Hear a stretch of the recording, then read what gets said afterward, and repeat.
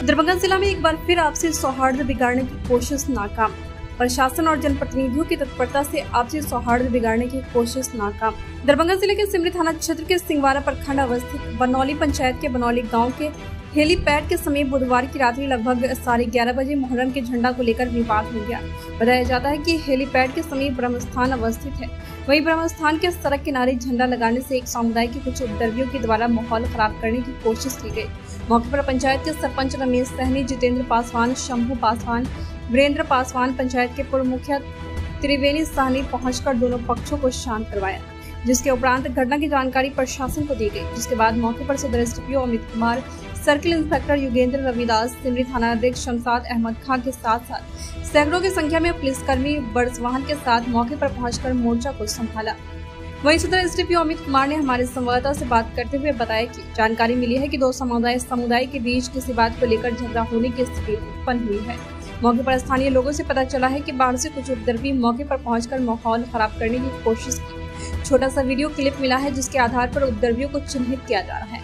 प्रशासन अलर्ट है, हमारे पास पर्याप्त बल की संख्या मौजूद है। इस प्रकार की घटना नहीं होने देंगे। इसके साथ साथ उन्होंने लोगों से अपील की है कि अफवाहों पर ध्यान न दें। किसी प्रकार के उपद्रवियों के द्वारा माहौल खराब करने की कोशिश किया जाता है तो इसकी तुरंत जानकारी प्रशासन को दे। वही स्थानीय सरपंच रमेश सैनी ने बताया कि बाहर से सैकड़ों की संख्या में कुछ उपद्रवी तक पहुँच कर यहाँ का माहौल खराब करने की कोशिश कर रहे थे। जैसे ही हम लोगों को जानकारी मिली, मौके पर पहुंचकर मामले को शांत करवाया। एवं उपद्रवियों को यहाँ से भगाने का काम किया है। स्थानीय लोगों से जानकारी मिली है कि ब्रह्मस्थान के समीप सड़क किनारे झंडा लगाने को लेकर विवाद हुआ है। इससे पूर्व में यहाँ पर आपसी सौहार्द से सभी लोग आपस में पर्व मनाते रहे हैं। जो भी उपद्रवी थे, वह बाहर से आए हुए थे, आसपास के कोई भी लोग इस घटना में संलिप्त नहीं है। लोगों ने बताया कि सभी उपद्रवी आदर्श युवा क्लब के सदस्य हैं। न्यूज़ के प्रायोजक है Mem Sahab, ladies wear, address city centre near Lee showroom, Subhash Chowk, Darbhanga. इस न्यूज़ के प्रायोजक है Mem Sahab ladies wear address city centre near Lee showroom Subhash Chowk, Darbhanga. इस न्यूज़ के प्रायोजक है Mem Sahab ladies wear address city centre near Lee showroom Subhash Chowk, Darbhanga.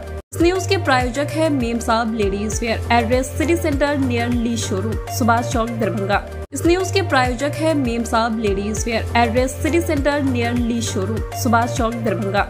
News के प्रायोजक है Mem Sahab ladies wear address city centre near Lee showroom Subhash Chowk, Darbhanga. इस news के प्रायोजक है Mem Sahab ladies wear address city centre near Lee showroom Subhash Chowk, Darbhanga. इस news के प्रायोजक है Mem Sahab ladies wear address city centre near Lee showroom Subhash Chowk, Darbhanga. इस news के प्रायोजक है Mem Sahab ladies wear address city centre near Lee showroom Subhash Chowk, Darbhanga.